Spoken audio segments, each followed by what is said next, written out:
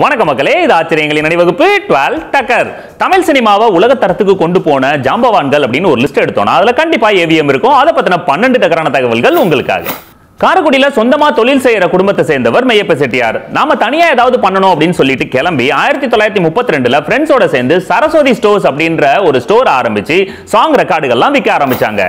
அந்த காலகட்டத்தில் என்டர்டைன்மெண்ட்டுக்கு வேற வழியே கிடையாது அப்படின்றதுனால இந்த ரெக்கார்டுகள் நிறையவே வித்திருக்கு. அடுத்த கட்டமாக நம்ம வந்து புராண கதைகளை ரெக்கார்டாக பண்ணி விற்கலாம் அப்படின்னு சொல்லிட்டு ஆடியோ ரெக்கார்டை விற்க ஆரம்பிச்சிருக்காரு.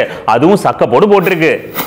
இந்தியாவில் பேசும் படங்கள் வர ஸ்டார்ட் பண்ண டைமில் நம்மளும் ப்ரொடக்ஷனில் இறங்கலாம் அப்படின்னு சொல்லிட்டு ஃப்ரெண்ட்ஸோட சேர்ந்து ஆயிரத்தி தொள்ளாயிரத்தி முப்பத்தஞ்சில் மெய்யப்ப செட்டியார் அவர்கள் சரஸ்வதி ப்ரொடக்ஷன் அப்படின்னு ஒரு ப்ரொடக்ஷன் கம்பெனி ஆரம்பிச்சு அல்லி அர்ஜுனா அப்படின்ற படத்தை ப்ரொடியூஸ் பண்ணாரு. படம் சூப்பர் ஹிட் இந்தியாவில் ஸ்டுடியோக்கள் அதிகமாக வர ஆரம்பித்த பீரியடில் நம்மளும் ஒரு ஸ்டுடியோ ஆரம்பித்து செட்டெல்லாம் போட்டு படத்தை ப்ரொடியூஸ் பண்ணணும் அப்படின்ட்டு மெய்யப்ப செட்டியார் அவர்கள் ஆயிரத்தி தொள்ளாயிரத்தி முப்பத்தஞ்சில் காரைக்குடிக்கு வெளியில் ஃப்ரெண்ட்ஸோட சேர்ந்து ஒரு மிகப்பெரிய செட் ஸ்டுடியோவை கிரியேட் பண்ணார். சென்னையை மையமாக வச்சு நிறைய ஸ்டுடியோக்கள் வர ஆரம்பிச்சது. ஸோ சென்னை பேஸாக இருந்ததுன்னா மற்ற லாங்குவேஜ்லேருந்து வந்து இங்கே ஷூட் பண்ணுறதுக்கு ஈஸியாக இருக்கு. அதனால நம்மளும் சென்னைக்கு போய் ஒரு ஸ்டுடியோவை ஸ்டார்ட் பண்ணலாம் அப்படின்னு ஆயிரத்தி தொள்ளாயிரத்தி நாற்பதில் நிறைய இடங்கள் தேடி பிரகதி ஸ்டுடியோ அப்படின்ற ஒரு ஸ்டுடியோவை மெய்யப்ப செட்டியார் ஆரம்பிக்கிறாரு.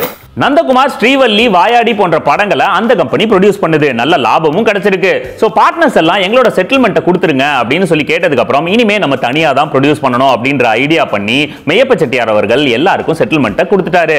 அதுக்கப்புறம் காரைக்குடிக்கே போய் அங்கே ஒரு நாடக கொட்டகையும் அதை சுற்றி இருக்கிற இடத்தையும் வாடகைக்கு எடுத்து ஏவிஎம் ஸ்டுடியோஸ் அப்படின்னு ஒன்று ஆரம்பிக்கிறாரு. அந்த ஸ்டுடியோவில் நாம் இருவர் அப்படின்ற ஒரு படத்தை ப்ரொடியூஸ் பண்ணி அந்த படம் சூப்பர் ஹிட் அடிச்சிருது. அதில் வந்து லாபத்தை வச்சு ஸ்டுடியோவை நல்லாவே டெவலப் பண்ணுறாரு அதுக்கப்புறம் வேதாள உலகம் அப்படின்ற ஒரு படத்தையும் அதில் ப்ரொடியூஸ் பண்ணுறாரு அந்த படமும் இண்டஸ்ட்ரி ஹிட் கொடுத்துருக்கு. அதுக்கப்புறம் தான் ஏவிஎம்ல மெய்யப்ப செட்டியார் ஒரு முக்கியமான முடிவை எடுக்கிறாரு. சென்னையில் பல இடங்களை தேடி அலைஞ்சு இப்போ ஏவிஎம் ஸ்டுடியோ அமைஞ்சிருக்கு இல்லையா? அந்த இடத்த மெய்யப்ப செட்டியார் அவர்கள் சூஸ் பண்ணி அங்கே ஒரு பெரிய ஸ்டுடியோவை அமைக்கிறாரு. அதுக்கப்புறம் பார்த்தீங்கன்னா எல்லா இண்டஸ்ட்ரியிலேருந்தும் அதாவது தமிழ் தெலுங்கு மலையாளம் கன்னடம் ஹிந்தி எல்லா லாங்குவேஜ்லேருந்தும் இங்கே படங்கள் எடுக்க ஆரம்பிக்கிறாங்க. இவரும் பல படங்களை ப்ரொடியூஸ் பண்ணுறாரு களத்தூர் கண்ணம்மா மூலியமா கமலஹாசன் அவர்களையும் பராசக்தி படம் மூலியமா சிவாஜி கணேசன் அவர்களையும் இன்ட்ரடியூஸ் பண்ணது ஏவிஎம் தான். அது மட்டும் இல்லாமல் நிறைய டெக்னீஷியன்ஸ் நிறைய டேரக்டர்ஸ் நிறைய ஆர்டிஸ்ட்னு ஏவிஎம் நிறைய பேர் இன்ட்ரடியூஸ் பண்ணியிருக்கு. அதை தாண்டி ஏவிஎமோட பெரிய பிளஸ் அப்படின்னு பாத்தீங்கன்னா அங்கேயே சவுண்ட் ரெக்கார்டிங் டப்பிங்னு எல்லா டெக்னாலஜியும் அங்க யூஸ் பண்ண ஆரம்பிச்சாங்க. ஸோ அதனால இந்தியாவில் இருக்கிற நிறைய ப்ரொடியூசர்ஸோட ஃபர்ஸ்ட் சாய்ஸ் ஏவிஎம் ஸ்டுடியோ தான்.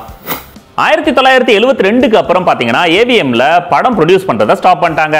அவ்வளோ பெரிய நிறுவனம் நம்ம ஒரு ஐகானிக்கா இருக்கணும் அப்படின்னு சொல்லிட்டு அவங்களோட பசங்களான பாலசுப்ரமணியமும் சரவணனும் திருப்பியும் அந்த இண்டஸ்ட்ரியை கையில கொண்டு வந்துட்டு ஏவிஎம் திருப்பி கொண்டு வந்தாங்க. அதாவது ஆயிரத்தி தொள்ளாயிரத்தி எண்பதுல அவங்க திரும்பி படத்தை ப்ரொடியூஸ் பண்ணாங்க. அந்த படம் தான் முரட்டுக்காலை.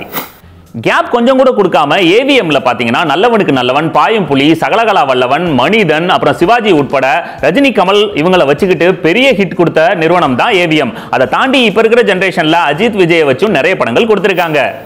ஏவிஎம் ஸ்டுடியோவோட அந்த வாசல்ல பாத்தீங்கன்னா ஏவிஎம் உலக உருண்டை ஒன்று சுத்திக்கிட்டே இருக்கும். அதுதான் இப்ப இருக்கிற கோடம்பாக்கத்துக்கும் சரி சினிமா இண்டஸ்ட்ரிக்கும் சரி அது ஒரு அடையாளமாவே மாறி இருக்கு இத ஒரு தடவை வந்து ஏவிஎம் மேயப்ப செட்டியார் அவர்கள் ஃபாரினுக்கு போனப்போ ஏதோ ஒரு ஸ்டுடியோல இந்த மாதிரி சுத்திட்டு இருந்ததை பார்த்திருக்காரு. அதே மாதிரி ஐடியாவை நம்மளும் பண்ணணும் அப்படின்னு சொல்லிட்டு என்ஜினியர் டெக்னீஷியன்ஸ் எல்லாத்தையும் பேசி அதை செட் பண்ணியிருக்காரு. அவர் போட்ட ஒரே அன்பு கட்டளை என்னன்னா அந்த உலக உருண்டை எப்பயுமே ஸ்டாப் ஆகக்கூடாதுன்னு தான். சூப்பர்ல ஓகே மக்களே மீண்டும் சந்திப்போம். இது ஆச்சரியங்களின் அணிவகுப்பு. டுவெல் டக்கர் வித் மை உங்கள் ready.